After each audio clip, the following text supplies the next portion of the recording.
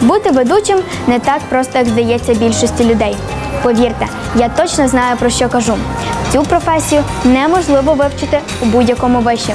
Потрібно дещо більше. Привіт! З вами Олеся Картина, і ми продовжуємо знайомитися з відомими львівськими ведучими. Не перемикайте! Попереду ексклюзивне інтерв'ю. Вітайте оплесками! Тарас Гаврик. Ви щодня чуєте його голос у програмах Радіо Львівська хвиля. Звідусіль лунають його пісні. А ще цей ведучий часто проводить різні навчальні акції у школах. Тарас Гаврик псевдонім, який знають, що не усі львів'яни. Ні для кого не секрет, що ця людина дуже багатогранна. Тарас не тільки радіоведучий, а ще й співак. Він знає ціну успіху і, звичайно, поразки. У дитинстві хлопець займався музикою і мріяв лише про сцену. Мати власний гурт було найзаповітнішим бажанням Тараса, і воно, на щастя, здійснилося. Втім, на додачу хлопець став ще й ведучим. Про творчість і особливу харизму цього львів'янина можна розповідати довго. Але навіщо? Розпитаємо усе у самого Тараса. Привіт, Привіт. Е, Прийшла сіла до мене дівчинка. Як тебе звати? Олеся, на вас. Приємно мене звати Тарас. Ми домовлялися перед тим, як е, ти заходила, що ти до мене будеш звертатися на ти. Пропоную дотримуватись цієї домовленості. Скажи, будь ласка, як це бути співаком та телерадіоведучим з освітою міжнародника? Слухай, ну зразу спочатку таке складне питання. Я поняття не маю. Я ніколи не вважав себе професійним. е, Ні, ну знаєш, люди, коли стоять там доросліші, вони люблять собі такі приставки ставити. Я там професійний ведучий, ще щось, ще щось, ще щось. Е, ну я займаюся тим, чим мені подобається. Мені здається, то найбільший успіх, якщо б мені подобалося.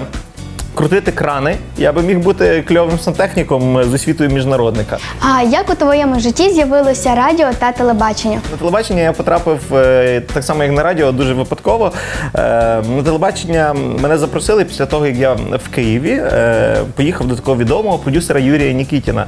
Юрій Нікітін е, це продюсер, який розкрутив казку, знаєш, ті, що про плакалу співають.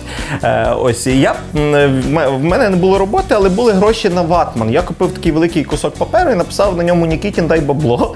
І поїхав в Київ під його офіс скандувати Нікітін дай бабло. Тоді прийшли трохи журналістів подивитися на е, тих е, дураків, е, що, що, що кричать в центрі Києва, непонятно чого, і вимагають людей бабло, займаються майже шантажем. І нас почали знімати. І запросили після того в Україні ще тоді був канал MTV, запросили туди. А вже після того, як я потрапив на MTV, мене запросили на львівське телебачення. А на радіо я потрапив буквально півроку після того, бо в супермаркеті купував продукти. Купував собі продукти в супермаркеті, дивлюся, мій е, знайомий, ну такий далекий знайомий радіоведучий. Я підійшов до нього, він запропонував мене підвезти додому. Я по дорозі щось почав з ним говорити і заікнувся, що хочу потрапити на радіо. Він сказав, хочеш, хочу. За два дні я був на радіо. В житті ти ніколи не знаєш, як що може трапитись. Але е, 100% не трапиться, якщо ти нічого не будеш робити. Якщо ти будеш щось робити, кудись ти, ти дойдеш. А ще якщо в тебе є мрія, це 100%. Опиши, як починається і триває твій день? Слухай, е, давай, давай будемо чесними з е, телеглядачами. Я запізнився тільки що, правда, на 10 хвилин. Знаєш чому? Я їв кавун. Це реально, то, є- дуже важливо. Я думаю, тако дивлюся, в мене є ще 5 хвилин до інтерв'ю, я близько живу звідси.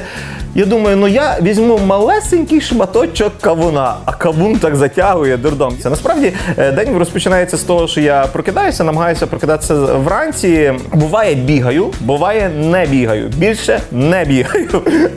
Так ходжу по хаті, напевно, що так як всі ем, е, знайомлюся вкотре з тим світом навколишнім. Е, Потім біжу на радіо. В мене дуже складне життя.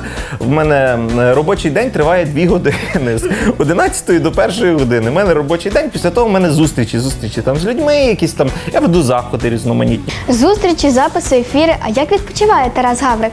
Тарас Гаврик е, відпочиває та й всі смертні. Нещодавно купив свою ігрову і тепер, коли е, мені вже зовсім нудно, то я бавлюся. А зазвичай це зустрічі з друзями. Мені здається, це найкрутіше, що можна робити вийти офлайн. У кар'єрі Тараса було чимало програм. Одна із найвідоміших і найбільш вдалих доброго ранку Львова. Уявіть, аби провести ранковий ефір, потрібно щодня прокидатись не о сьомій ранку, а о п'ятій. І тоді уже будити весь Львів. Ти працював на телебаченні і був ведучим ранкової програми. Як змусити себе прокидатися так рано і чи просипав ефір? Береш голку, запискуєш собі під ніготь, і ти, ти, вже біля, ти вже біля телебачення. Е, насправді ти маєш розуміти, що життя прекрасне, бо зазвичай давай будемо чесними. Ти як прокидаєшся в школу, в школу, ти любиш прокидатися вранці? Ти, ти, ти стаєш і думаєш, боже мій, ну на що, ну на що? Ти мусиш е, сама себе зацікавити з вечора. Чому тобі цікавий наступний день? То я намагався завжди і намагаюся прокидатися з думкою про щось хороше. І тоді якось легше жити. В серці ти більше музикант чи ведучий? Я, я би не поділяв одне і друге, подобається і те, і те. Ну і декілька секретів успіху від Тараса Гаврика нашим глядачам. Вся відповідальність в житті на тобі. Коли ти то зрозумієш, е, хоча можливо це звучить е, до- досить просто і одночасно складно, е, тоді і жити стане простіше, і щось ти почнеш досягати в цьому житті. Бери відповідальність завжди на себе. Правило номер один. Є ще 89 інших правил, про які у наступних програмах. Талановитий музикант і професійний ведучий, кумир львівської молоді, який цінує простоту та щирість, не боїться поразок і визнає, навіть якщо ти продавець одягу на ринку, але паралельно випускаєш свій альбом, головне не зловити зірку. Багато мріяв, але ще більше працював. І найважливіше ніколи не забував про свою ціль. Бути ведучим чи журналістом це не робота, а стан душі. Я це знала і переконалася ще раз завдяки Тарасу Гаврику. Не забувайте мріяти та втілювати свої мрії у реальність. А це була Олеся Карпіна. Щасти!